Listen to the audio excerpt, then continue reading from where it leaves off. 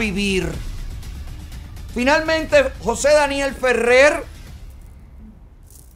ha sido visto por su esposa.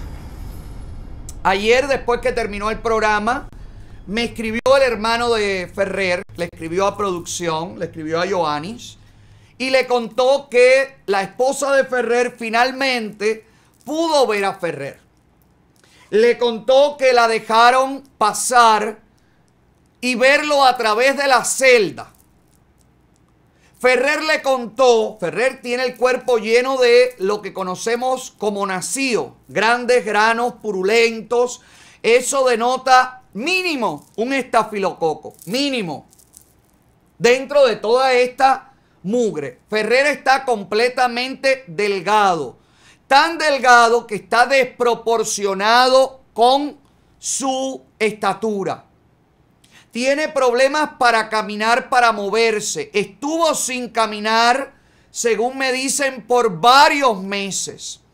Estando Ferrer parapléjico prácticamente, también después de haber sido golpeado, torturado, aislado, tratado de eh, quebrantar su, su decisión apareció en la puerta de la celda de Ferrer un alto oficial del Minin, un alto oficial de la seguridad del Estado. Y le dijo a Ferrer que en ese momento no podía caminar, no se podía mover. Le dijo, tú puedes evitarte todos estos problemas si tú decides irte del país. Ferrer respondió, que él no se va del país y continúa preso. Su esposa finalmente, después de más de tres meses, ha podido verlo. Pero lo que ha visto es a un hombre que sigue firme contra la dictadura. Ha visto a un hombre que su cuerpo está debilitado su amor a la libertad no ha cedido ni un milímetro. Su esposa encontró a un hombre machucado,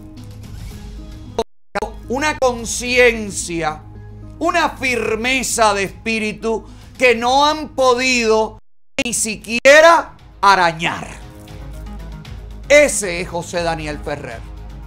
Y hoy el grito no puede ser fe de vida de Ferrer. Hoy el grito tiene que ser libertad para todos los presos políticos.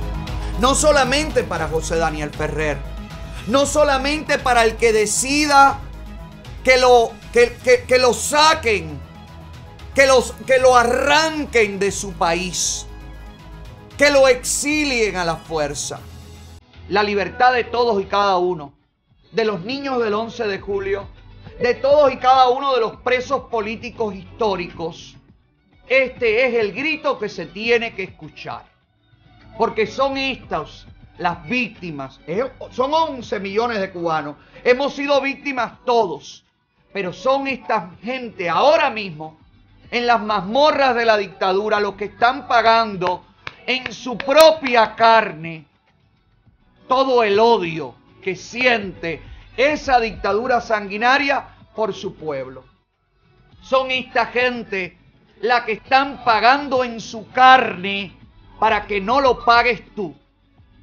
Tú que te has mantenido callado y que sigues callado mientras ellos son torturados en las mazmorras de la dictadura cubana. La familia de Ferrer es un ejemplo.